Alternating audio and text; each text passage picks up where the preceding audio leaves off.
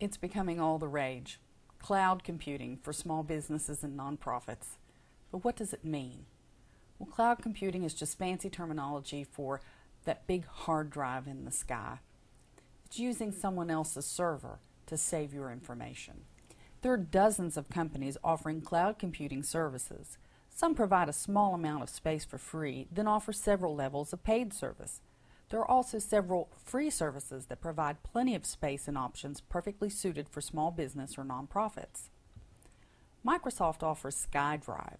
Since the Microsoft Office Suite is one of the most popular software packages for business and personal use, this is a great option. Here you can upload or create original Office documents, edit them from your web browser or in the application on your computer.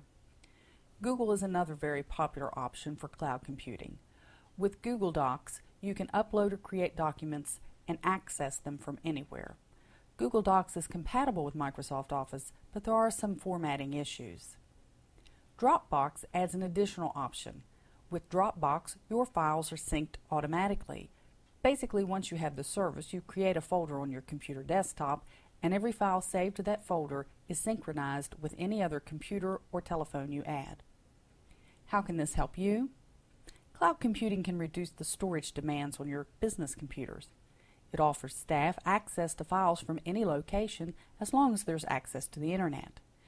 Work on projects can continue even if a winter storm keeps you from getting to the office.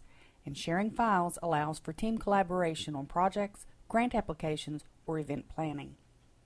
And it saves critical documents in case of fire, flood, computer crash, or other catastrophic event. Cloud computing is a great option for many small businesses and nonprofits, and it may be worth your time to look into it.